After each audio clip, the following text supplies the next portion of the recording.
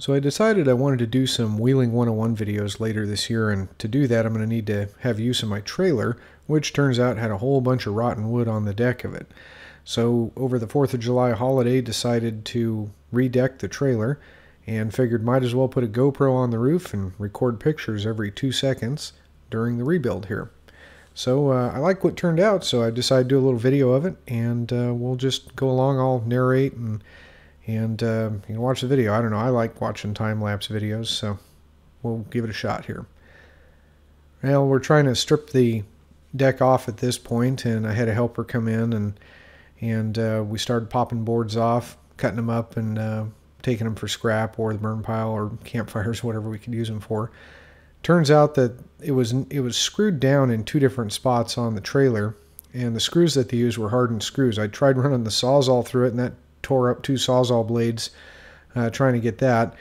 And then I finally just resorted to using a cutoff wheel and the angle grinder and busting the heads off of them. And uh, that's the smoke you see burning through the wood to chop the heads off. And then we were just cleaning up, getting the uh, getting the screws out and grinding things off and replacing the wiring up in the corner. There's some pretty cruddy trailer wiring going on there, so I figured while the deck's off, might as well fix that up. And then I had my uh, helper start cleaning up the frame. And I figured since we had the deck off, might as well uh, paint the whole thing under there. It had quite a bit of surface rust going. So just had him take the wire wheel and go over the whole thing. And then we just, uh, you know, after he got that thing cleaned up, we ended up uh, hosing it down with about five cans of Rust-Oleum.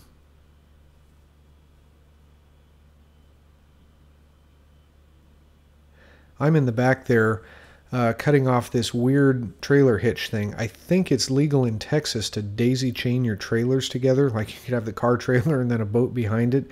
But uh, that kind of stuff doesn't fly with the Oregon Highway Patrol, so I just went ahead and cut that little um, mount off. Prior owner had put some kind of little uh, side ramp there, I guess so you could drive on it without damaging the fender. Uh, but it wasn't welded down very well, so I went in and we cleaned up that area, and then I went through and just put some better weld in, trying to stiffen it up a little bit. My truck will actually fit between those fender wells just barely uh, with the 37 12.5 Swampers on it. I'm not overly wide, but maybe somebody had a wider truck at one point. I'll probably go through at some point and reinforce the other side, but for now we're just going to leave it like it is. And here we are just hosing down the paint, might as well do it while you got the got the top off and can get to it. Then I kind of slid under there and rolled around on my creeper, painting the underside a little bit.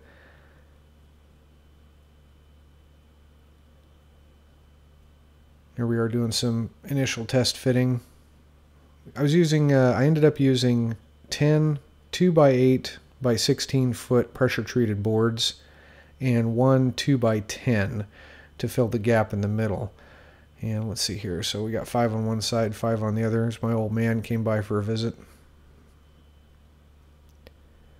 And yep, so now we got that gap in the middle. We ended up having to cut like about an inch and a quarter off of a off of a, a two by ten. And I made some wedges out of the old board just to kind of press everything together. That wood was just soaking wet with uh, from the from the lumber shop.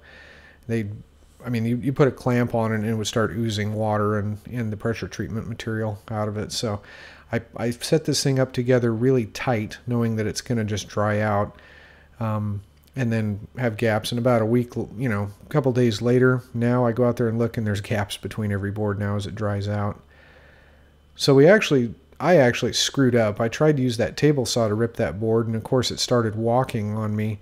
Um, so I ended up stopping and I made one board that was a little over eight feet and then I went and bought another eight foot two by 10 and I put straight edges on them and ripped those to a real exact um, measurement with a good straight line. And uh, we ended up having that one board split, but fortunately there's a support right in the middle, so we were able to just um, put them both to that middle support and then nail them down. And that worked out really well. I I was a little worried of how it would look, but it looks fine and it's real secure. So here I am starting the process of screwing down these boards and I found a pretty cool screw. It's designed to go through wood and then self-drill through steel and anchor it down, and they're um, ceramic coated self tapping screws, machine screws.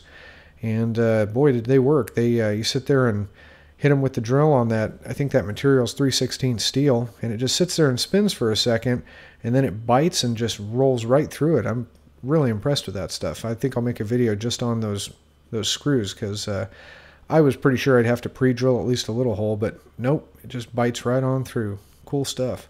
So that's about it. A little cleanup. I'll put up some before and after pictures of the uh, trailer, as well as a picture of that box of self-tapping machine screws that I got that worked out so well.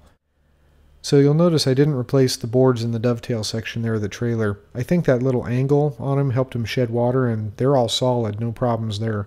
I'd have to cut off a really large section of weld and angle iron to get those things out of there, so they're sound. I'm going to leave them for now.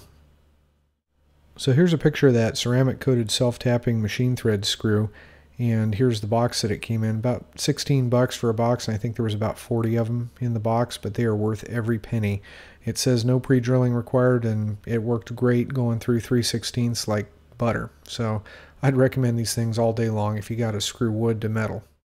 Thanks for watching my video. If you liked what you saw please give it a like or thumbs up vote and subscribe to my channel. Like votes new subscribers and sharing on social media really do help me to keep making more of these videos. Thanks